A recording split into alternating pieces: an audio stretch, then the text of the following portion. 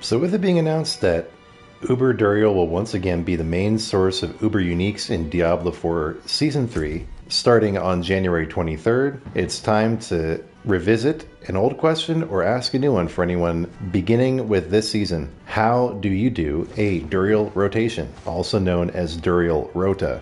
Generally, the way you're going to do this is you're going to go into trade chat, or you can go onto Discord or onto Reddit. There are a few different places where people put out posts for Duriel rotations. You're going to want to join a group of four people. And to do that, you add somebody in your friend finder, just like this person sent me a friend request. And then you make a group with them and you make your way to Duriel's location, which is the Gaping Crevasse down in Kehjistan. So you port to the Gea Kul waypoint. That can also be a good place to find a party, just random people hanging around there. Also, random people hanging around the front of the dungeon. Sometimes want to join your party. To do a Duriel rotation properly, though, you don't just need a party. You need some Mucus Slick eggs and some Shards of Agony, specifically two each. Because the idea of a rotation is that taking turns, all four of you in your party trigger the Uber Duriel boss fight, starting with one, then the next, then the third, then the fourth. Usually, you establish this rotation before you begin. So once you have your party, and you've established your rotation if you are doing that ahead of time, you take a short horse ride over to Duriel's lair.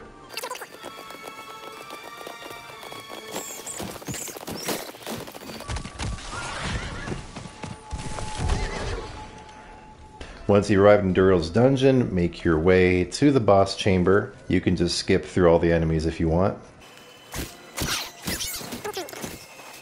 And then once you're there, the designated first person goes ahead and places their mats in the altar. And then you take down Duriel.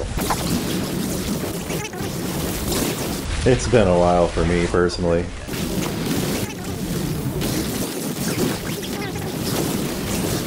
Always good to get back in practice before the start of a new season. And then you pick up your loot and choose the leave dungeon option to go back to the front. If you're in a group, you need to have the group leader go to their map, pull over the journal, and press that button that says reset dungeons and hold it. Then everyone presses accept with the prompt that comes up, and then your dungeon is reset, and you can go back in. And if you're doing a rotation, the next person will put their mats in, and so forth and so on. So if you're wondering what a Duriel Rota is, or you've come across the term Duriel rotation, that's all there is to it. You just find a group, you all get together, you choose who goes first. You all have mats. People often ask, Do you have mats before they make a group with you? And they might be upset if you don't. Make sure you have mats and head on in. The reason people do this is because the odds are better. You only need one set of mats to do four runs, so it's more efficient. Just remember to be a good person and always contribute your mats. Never run without them. Eventually, the karma will catch up with you. For more Diablo 4 Season 3 content, give me a follow, give a like to this video to help reach more people, and thanks for watching.